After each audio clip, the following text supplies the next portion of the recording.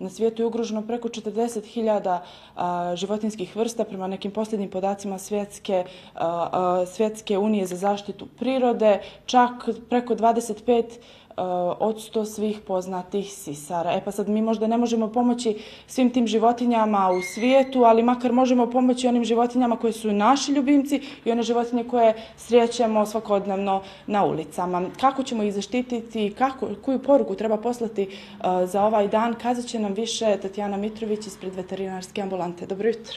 Dobro jutro, kako ste? Eh, na šta treba da posjetimo tokom ovog dana? Šta treba da se kaže, kakva poruka treba da se pošalje kada je u pitanju zaštita životinja?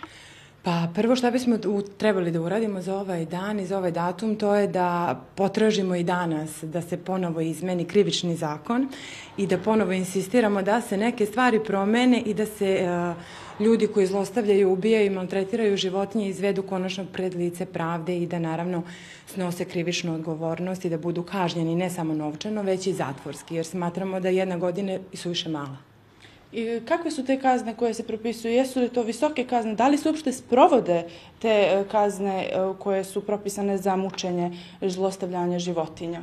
Kazne su minimalne i obično dobijete samo uslovno ili neku novčanu kaznu, što je, morate priznati, izuzetno sramno, jer uh, životinja je ravnopravni član na, planeti Zemlji. Eto, vi negdje svakodnevno imate, da kažemo, te male pacijente, životinje, e, sa kakvim vam se povredama javljaju, e, to jest dovode ih ljudi, je li tako, ili ih vi čak, e, eto znamo, i pronađete, kakve su to povrede, šta se to dešava u, na našim ulicama, pa ljudi dovode životinje?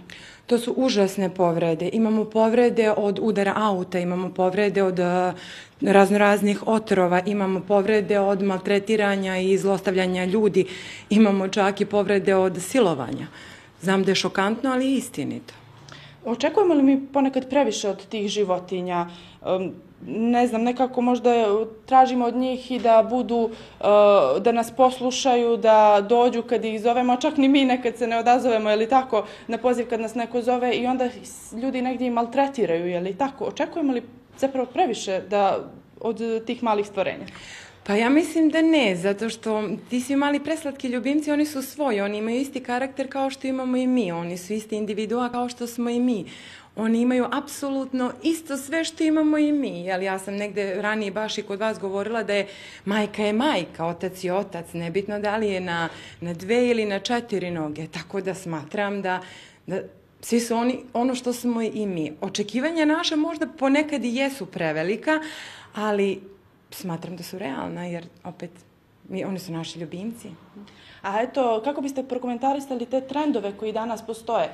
E, negdje ljudi vole da možda i srede svoje životinje, da im stave šnalice, trakice, e, ne znam, kupuju im odjeću. E, kako to komentarišete?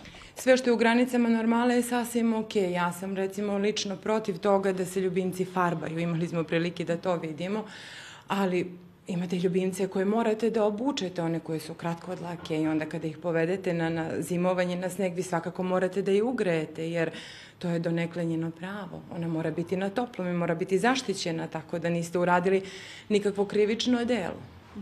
Eto, kakav je vaš savjet kako da njegujemo životinje, kako da njegujemo, ajde prvo kućne ljubimce, a onda kako da pomognemo i ovim životinjama koje svakodnevno nalazimo na ulicama? Posmatrajte ih, osluškujte ih, one će vam sami reći. Vaš kućni ljubimac će vam sam pokazati kada nešto nije u redu.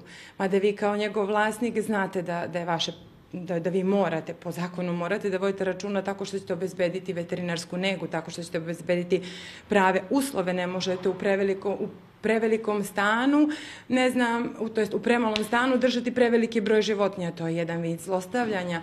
Morate sterilisati vašeg ljubimca, morate ga kastrirati, morate, ne znam, vakcinisati, redovno čistiti od unutrašnjih, od spoljašnjih parazita, obezbediti hranu. Tako da to su sve neke minimalne stvari koje vi morate da obezbedite, a opet su za zdravlje vašeg ljubimca. Kada sve to obezbedite, vaš ljubimac će biti zahvalan i e, zdrav. A šta je sa životinjama koje srećemo na ulicama? Ponudite im hranu, ponudite im vodu, ponudite im sterilizaciju, kastraciju, jedini lek za za smanjenje broja nataliteta na ulicama je sterilizacija i kastracija. O tome moramo konstantno govoriti i moramo edukovati ljude, jer mnogi ljudi greše kada kažu to je greh. Sterilizacija i kastracija nije greh. Jedino na taj način smanjit ćemo patnju na ulici.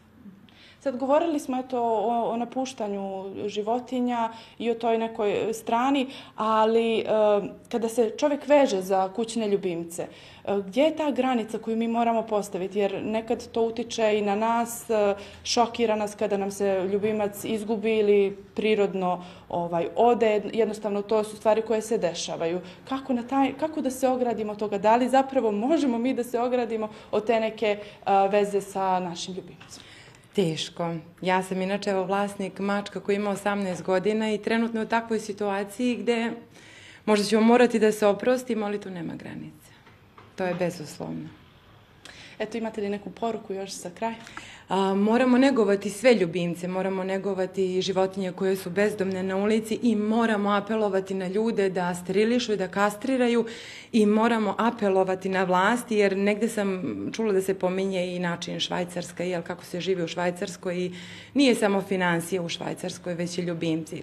Ako prelistate malo Švajcarska i na prvom mestu kada su ljubimci u pitanju, jer kod njih je na prvom mestu ljubimac pa sve onda ostalo, tako dajmo da preslikamo Švajcarsku i u tom pogledu. Hvala vam puno na ovom izdvojenom vremenu i na informacijama. Nema na čemu, hvala vama.